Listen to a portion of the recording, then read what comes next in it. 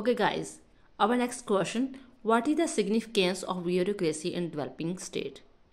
Developing state में bureaucracy का कितना को रोल है?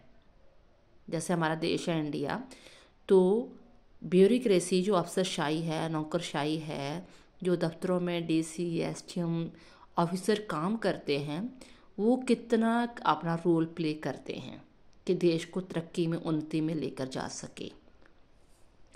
According to famous thinker Leftovich, for all round the developing development of the state and for the achievement of the goal of the state, bureaucracy play an important role. For this purpose, bureaucracy should be able, committed, powerful, autonomous.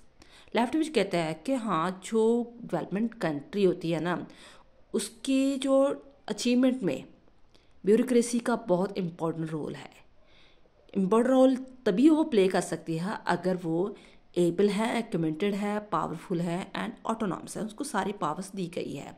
Sometimes क्या होता है?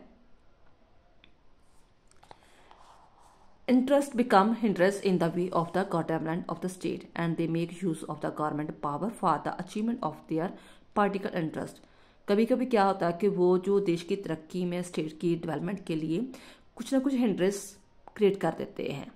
ठीक है but the bureaucracy under such condition does not let it happen but इस time जो bureaucracy ऐसा होने नहीं देते while spotting this view point for miss writer मोनिकल has set that in development state the recruitment of the bureaucracy is made on the basis of their merit and ability and the officer are provided security so that they are able to discharge their responsibility efficiently.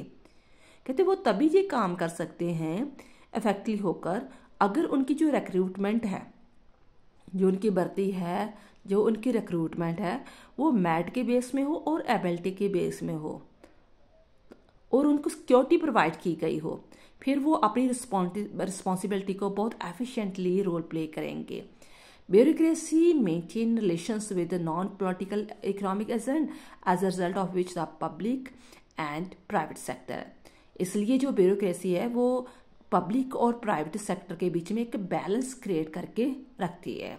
पब्लिकों के जो government के अंदर जो भी business है और private जैसे private वगैरह, जो प्राइवेट बिज़नेस वगैरह होते हैं function jointly for the achievement of the goal of the development का जो पूरा देश ही विकास कर सके। वंस अगेन के फ़र्स्ट ऑफ़ ऑल तो जो वो जो ब्यूरोक्रेसी वाले हैं, वो able committed powerful and autonomous होने चाहिए। क्योंकि कभी कभी क्या होते हैं, जो पॉलिटिकल लीडर्स भी होते हैं वो अपनी पावर को मेंटेन करने के लिए कभी दबाव में आ जाते हैं, लेकिन ये ब्यूरोक्रेसी किसी के दबाव में नहीं आते। इसलिए उनकी जो रिक्रूटमेंट है वो मेरिट और एबिलिटी की बेस पर होनी चाहिए और उनकी सिक्योरिटी भी होनी चाहिए। सिक्योरिटी उनको पूरी प्रोवाइड करनी चाहिए। ताकि जो अपनी रिस्पॉन्सिबिलिटी को वो एफिशिएंटली प्ले कर सके और पब्लिक और प्राइवेट सेक्टर में एक जो चेन क्रिएट कर सके। आई होप ये क्वेश्चन आपको समझ में आ गया होगा। थैंक्स